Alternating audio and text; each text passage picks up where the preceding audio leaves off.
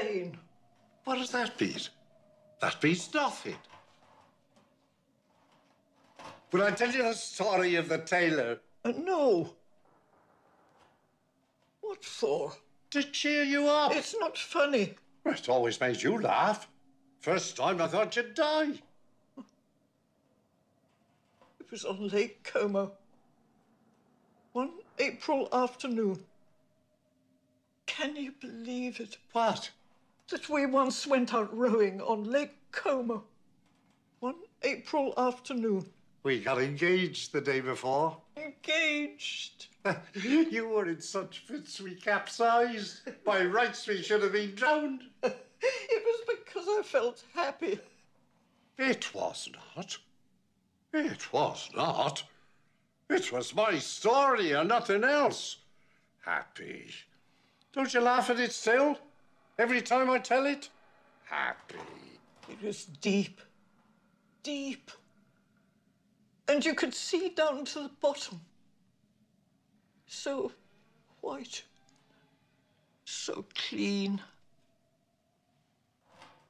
Let me tell it again. An Englishman needed a pair of striped trousers in a hurry for the New Year festivities, goes to his tailor, who takes his measurements. That's the lot. Come back in four days and I'll have it ready. Good. Four days later. So sorry. Come back in a week. I've made a mess of the seat. Good. That's all right. A neat seat can be very ticklish a week later. Frightfully sorry. Come back in ten days. I've made a hash of the crutch. Good. Can't be helped. A snug crutch is always a teaser ten days later. Dreadfully sorry. Come back in a fortnight. I've made a balls of the fly. Good. At a pinch, a smart fly is a stiff proposition. I've never told it worse. but tell this story worse and worse. Ah, well.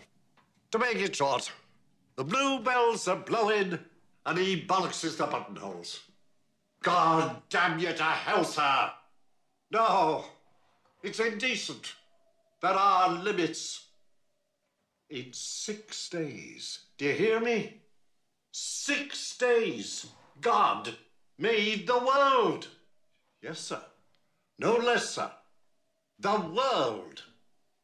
And you're not bloody well capable of making me a pair of trousers in three months. Oh, my dear sir. My dear sir. Look at the world. And look at my trousers.